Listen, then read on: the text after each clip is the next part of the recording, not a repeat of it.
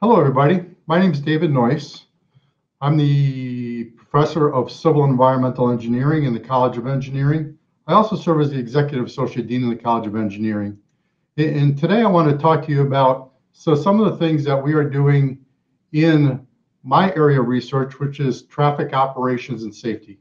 So we focus on many, many different things related to how vehicles operate, how the transportation systems operate, and how we safely and efficiently move people and goods throughout the system. So the lab I started almost 20 years ago is called the Traffic Operations Safety Laboratory. No surprise there, right? And what you see on the screen here is some of the things that we do on a regular basis. And one of them that I'm just going to share with you, just as an example here, is the implementation of the flashing yellow arrow indication that you see at most signalized intersections, not only around the state of Wisconsin, but around the country. And this is something as simple as it may look that we developed here at the University of Wisconsin and continue to work on.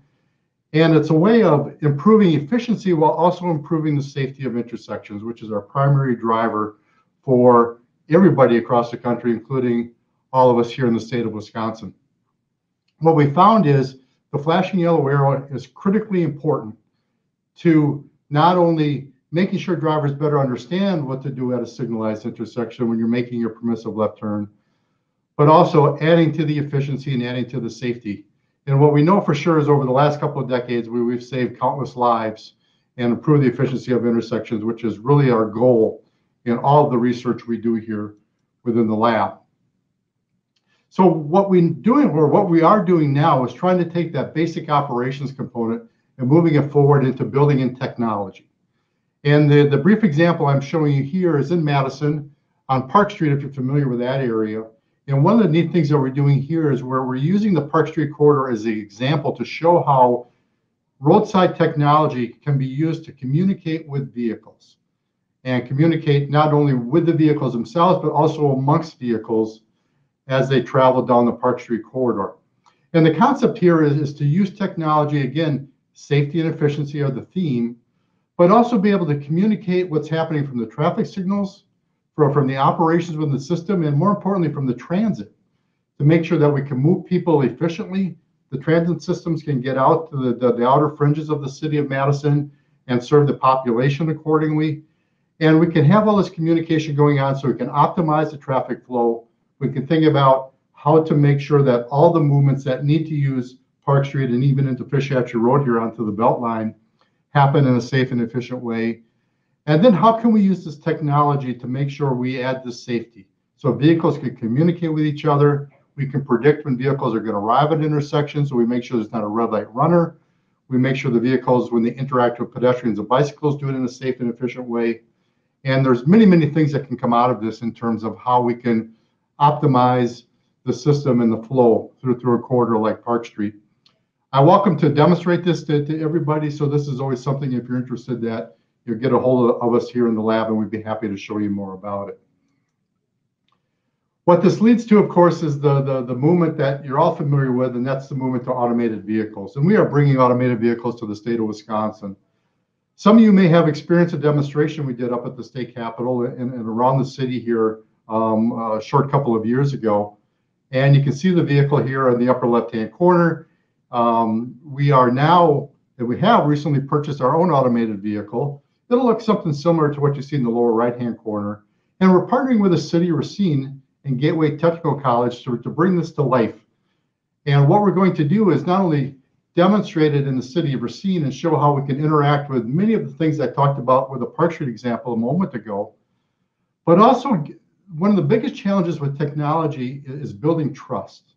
And we want people in the state of Wisconsin to be comfortable with this new technology and be able to show that this is the way of the future, that we can do so many wonderful things in transportation, again, from a safety and efficiency standpoint, with this type of technology.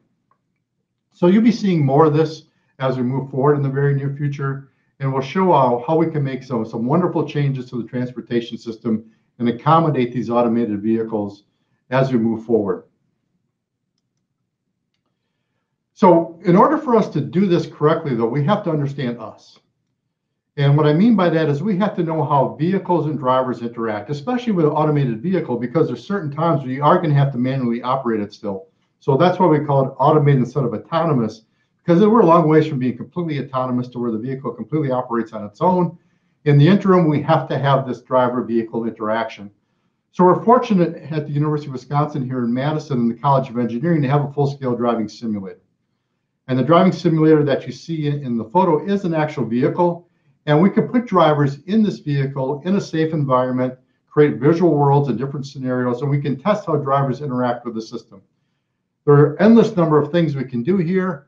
There's an endless number of things we have or, or can explore and have explored over the years, and this continues to be one of our primary mechanisms in order to help us understand how drivers and vehicles will interact as we move into the technologies that we're seeing and what will be coming down here in the very near future.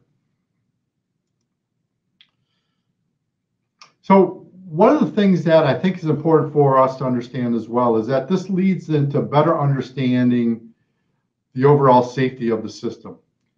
We are partnering with our corporate partner or corporate folks here in the state of Wisconsin, American Family Insurance being the one that I'm showing you here, and looking at how safety data can be used to better predict where there are safety issues and how we can ensure that the citizens of the state of Wisconsin are safe as reasonably possible. You know, how can we make sure that your travel is going to be as safe as it possibly can be?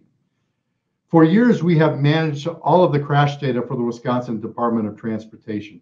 So, so we, we take the, the, the crash data as it comes in from the police reports, we process that data, and we create a number of things that are useful to the Department of Transportation and other state and local and county municipalities and, their law enforcement folks. But if you look at the lower corner here of the diagram, you see spot maps or what we call heat maps. And we're able to identify where there are safety issues so we can address them proactively instead of reactively and find ways to improve the transportation system from a safety standpoint, which is obviously important to all of us. So we focus on this data analytics, which is really where the future of a lot of what we're doing is, is centered around, and that's data, understanding the data and the data that's coming from all the vehicles in the transportation system, then helping us put that into play here to better understand the overall safety. So what are we doing here to impact the state of Wisconsin? Well, hopefully you see there's many things. Here I'm showing you again the, a reinforcement of some of the safety data that's available to all of you.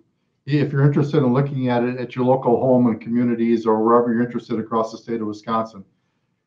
We have access to this database that shows you all the information um, where previous crashes have happened, what are some of the traffic operations conditions there, you know, where are we looking in terms of making improvements across the, the, the system, across the infrastructure in order to improve safety in the future.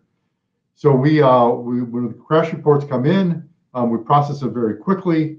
Um, most often within the next day or two, there, there's real-time information. And I think our, our, our, colleagues at the Wisconsin Department of Transportation and the, the cities and the counties and others across the state of Wisconsin will tell you that they use this tool.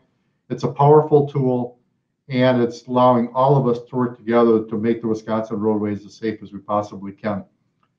So what I hope you've seen here in a quick snapshot that we in the Traffic Operations and Safety Lab at the University of Wisconsin in Madison and across the College of Engineering are working aggressively across the area of traffic operations and safety to, to improve everything in the state of Wisconsin and our connections not only from making the roadways more efficient and making them safe, but also looking at the other part of transportation, which is the movement of people and goods, and working with our transit agencies, our large cities, our freight folks, and, and other private industries that are focused on freight from many different aspects, and really all aspects across the Wisconsin transportation system here that we're focused on. So let me conclude there and thank you for your time. And hopefully you found this an interesting contribution always glad to communicate with you if, if anything you if anything I talked about you'd like to learn more about. Thank you.